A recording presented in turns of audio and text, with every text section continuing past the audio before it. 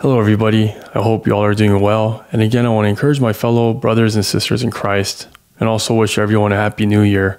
May God bless you and your families as you head into 2023. You know, talking about going to the new year, you know, I just want to encourage everybody to wait on God, to trust in His timing as we enter this new year. I know many of us have been tempted to be impatient with God's timing you know, you're waiting on God. You ask God for certain things, and sometimes it feels like He doesn't even care. But He does care. And He has a plan for you, and His timing is perfect. You know, so that's the main thing I want to address because I know waiting on God is very difficult for most people. And I would say a lot of our Christian life, if not most of it, is waiting on God. And also during that waiting time, we might be tempted to question his wisdom. And we might be even brought to the point of thinking that he left us. You haven't experienced God for so long. You haven't seen him move. Your life has been the same for so long. You wonder, did I do something wrong for God to leave me because I don't sense him at all? And so I want to encourage you to not be impatient with God, but to be patient because you trust in Him, because you know that He knows what's best for you, and to trust in His wisdom, and to know that He's never left you and He never will. Because once you belong to Him, you're His forever. So I want to talk about an example of how God led His people in the Old Testament. After the Israelites came out of Egypt, out of Pharaoh's grasp, and Moses is leading them, and God is leading all of them there's an example in Numbers chapter 9, verse 19 to 23. God led his people with a cloud, and God would use this cloud to move, and the Israelites will follow it. And when the cloud stayed, the Israelites will camp around it. And so I think we could learn a lot from this because our God is the same at that as time at that time as he is today. And I want you to just keep in mind just how God works, you know, in this passage and how God may be working in your life at this time. Verse 19 When the cloud remained over the tabernacle a long time, the Israelites obeyed the Lord's order and did not set out. Sometimes the cloud was over the tabernacle only a few days. At the Lord's command, they would encamp, and then at his command, they would set out. Sometimes the cloud stayed only from evening till morning, and when it lifted in the morning, they set out whether by day or by night, whenever the cloud lifted, they set out. Whether the cloud stayed over the tabernacle for two days, or a month, or a year, the Israelites would remain in camp and not set out. But when it lifted, they would set out. At the Lord's command, they encamped, and at the Lord's command, they set out. They obeyed the Lord's order in accordance with, in, with, in accordance with his command through Moses. And so, as you can see here, it wasn't a simple, methodical journey. The cloud didn't just stay in the tabernacle during the night and it traveled during the day. You know, it wasn't something that people could predict. And so, this cloud that God used sometimes stayed only half a day and then it would go off. And sometimes it would just stay there as long as a year, maybe even more than a year. But it says that it would stay even a year. And so I could imagine those some people just wanted to get moving, progress. Let's get to the destination. And here God has this cloud just stay for an entire year of going nowhere. And so God still does that in our lives, I believe.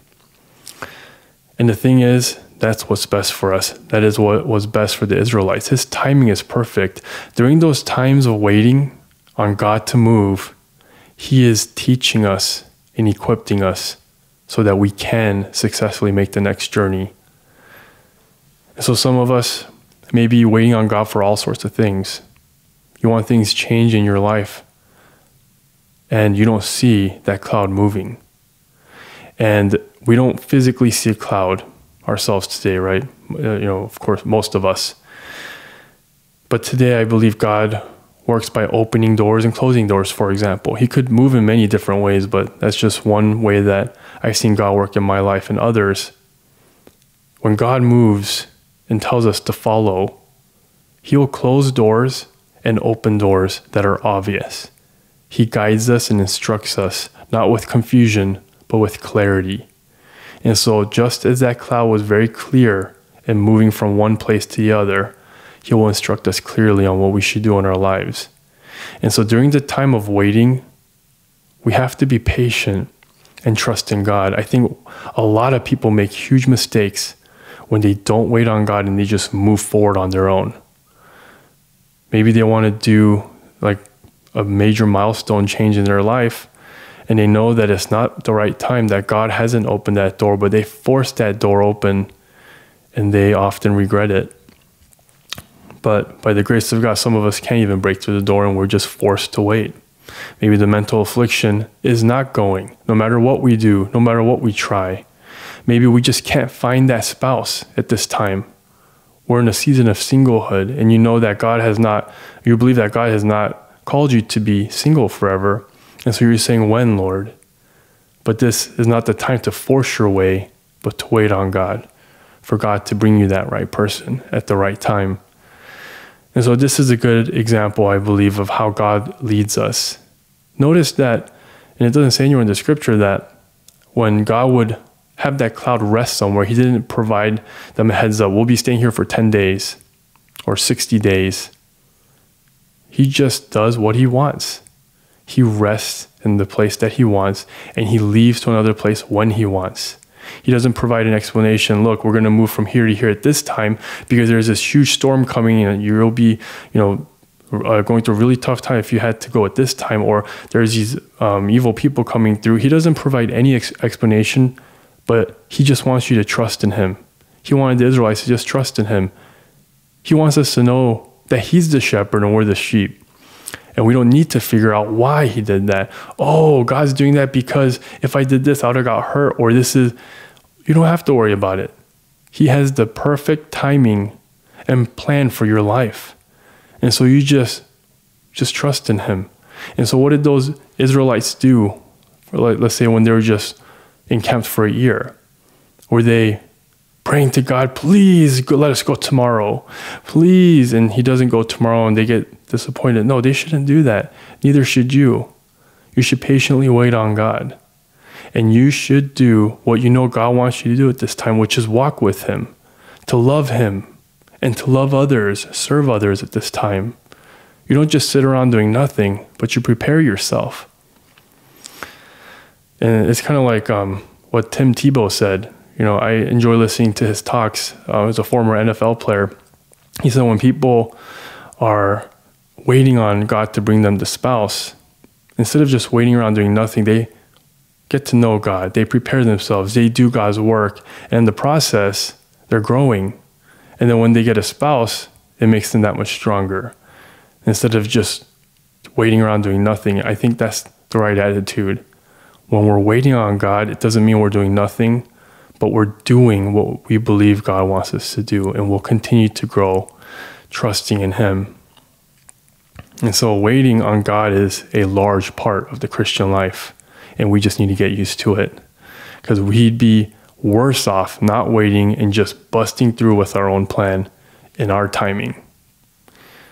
And so, really, there's no reason to be impatient with God, but there's all the reason to patiently wait on God to open and close doors in our lives so that we may walk in the path that He laid out for us, which is what is best for us. And also, questioning God's wisdom, His ways, and timing is just in our best interest not to. You might have that temptation, but just realize God knows better. It's that simple. As the heavens are higher than the earth, so are His ways and His thoughts than ours. It's just better. You don't have to even go there. You don't have to question Him because He's God and we're not. He's the shepherd, we are the sheep.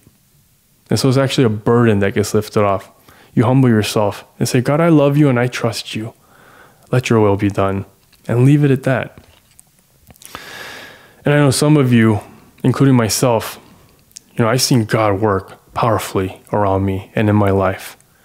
And there'll be times where it's just dry. Nothing. I see nothing. I feel nothing. And so I have this temptation that gets presented to me. Did you mess up? Did God leave you because of that sin or because you didn't do enough for whatever reason? And we have to remember the promises of God in Hebrews I will never leave you nor forsake you. Once we become His child, the Holy Spirit is a seal for us. It's a guarantee for the day of redemption. We are His forever.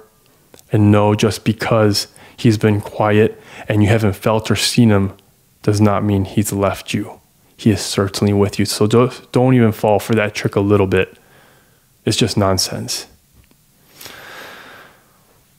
And so I encourage you as you go into this new year to make up your mind, to be patient with God's timing, to trust in His timing and His ways, and to trust in His wisdom on what He has in store for you, His plan. And so, like the cloud, just getting up and moving out, being so straightforward, so is God guiding us. When He wants us to stay and grow here, you accept it and you grow, you grow. You love God, you love others, serve others where you are at this time. And at the right time, He'll guide you to something else. I mean, you'll be doing that the whole time, loving God and loving others, but He'll change, you know, change you, move you from this season to that season. And so if you are in a season of mental affliction, you know, in other words, a time of growth and training, that season will end at the right time and God will move you to the next season. So may God bless you this upcoming year, you and your family, and may we all wait on the Lord, trusting in Him alone. God bless you.